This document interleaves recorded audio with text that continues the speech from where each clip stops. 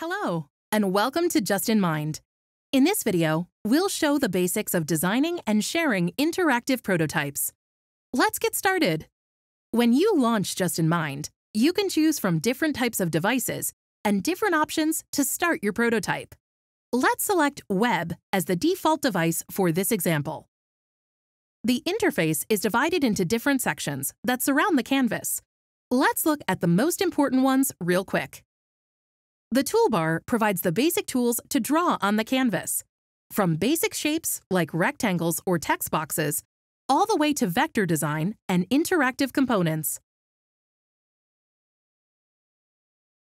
A prototype in Justinmind is organized in different screens that are all listed in the Screens panel.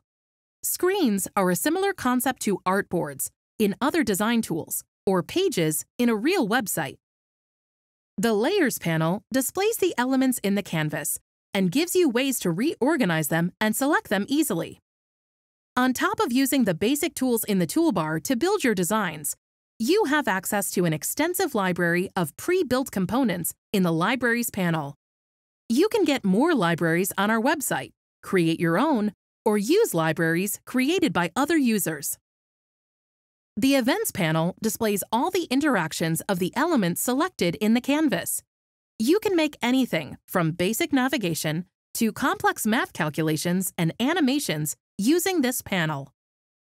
The Properties panel holds all the design options for elements on the canvas, like colors, typefaces, etc.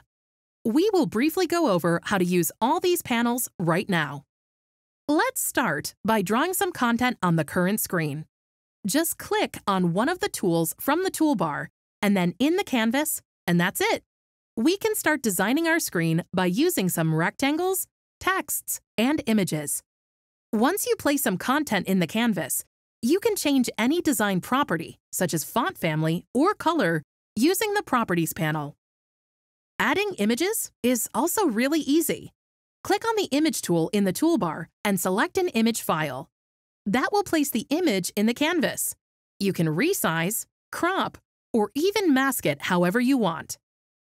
As we mentioned before, you're not only restricted to the tools in the toolbar, but you can also use any of the widgets in the Libraries panel.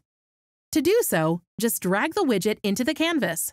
If the element has different sub-elements, you can either double-click on them to select them individually, or you can use the Direct Selection tool. Some elements in the toolbar are already interactive. If you click on the plus sign, you'll find a whole collection of input form fields to add to your designs. Add them the same way as you would do with the rest of the tools. These input forms can be customized using the Properties panel. If you have more than one screen, you can simulate navigation very easily.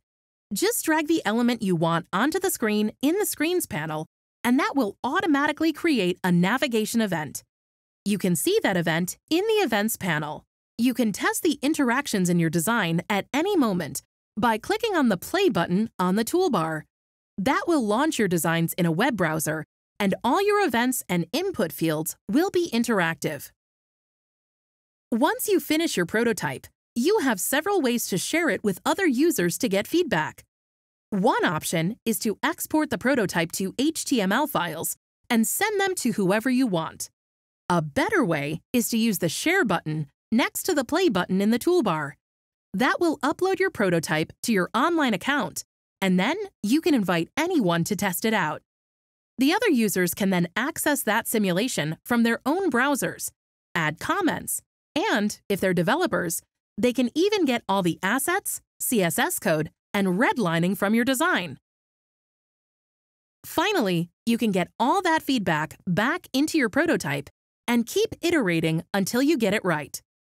Feel free to check our learning section to see all the options Justinmind gives you to design and prototype without limits.